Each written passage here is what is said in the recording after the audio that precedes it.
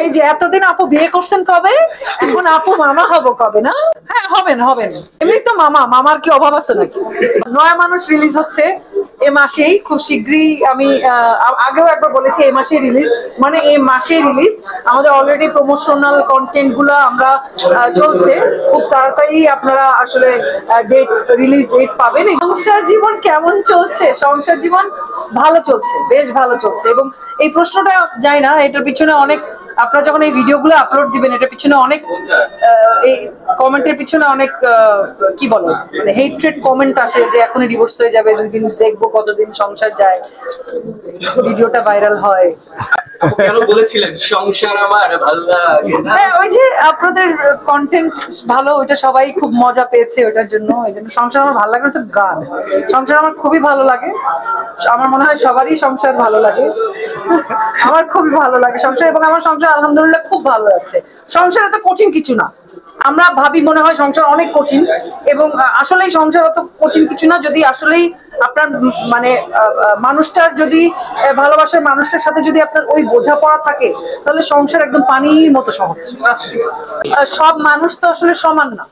আমরা টিভি পর্দায় কাজ করি, তার মানে আমাদের সবার সবাই আমরা একরকম, এরকম তো না। তাহলে তো আমরা সবাই সুপারস্টার থাকতাম। তাই না? তো আসলে তো সেরকম না বিষয়টা। আমরা মানুষ হিসেবেও যেমন আলাদা, আমাদের মনস্তাত্ত্বিক জায়গাও আলাদা, আমাদের চিন্তা ভাবনার জায়গাও আলাদা, আমাদের চিন্তার জগৎ আলাদা, আমাদের ভাবনার জগৎ আলাদা। মানুষ হিসেবে আমরা সবাই আলাদা।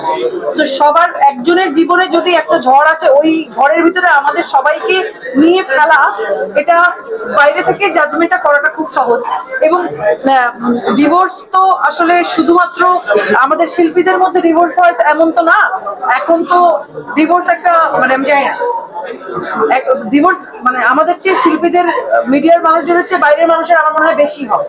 তাদেরটা সামনে আসে না, আমাদেরটা সামনে আসে দেখে আমাদেরকে সবাই, এবং আমাদের, আমার মনে হয় যে থাকে না একটা ফ্রাস্ট্রেশন বের করার একটা জায়গা আমাদের পোস্টে বা আমরা কোনো কিছু বললে সেখানে কমেন্ট করা এক ধরনের রিলিফ তাও এভাবেও যদি আমরা আসলে মানুষের উপকার করতে পারি, যে আমাদের পোস্টে কমেন্ট করে বা আমাদের ছবিতে কমেন্ট করে একটা নোংরা কমেন্ট করে বা একটা ব্যাড কমেন্ট করে মানুষের যদি ফ্রাস্ট্রেশন বের হয়, মানুষ যদি একটু বেটার ফিল করে মানসিক ভাবে তাও তো আমরা এক ধরনের মানুষের ইয়েতে অবদান রাখছি না? মানে তো ওইটাই আর। গালি দিয়ে যদি ভালো লাগে তো দেন গালি।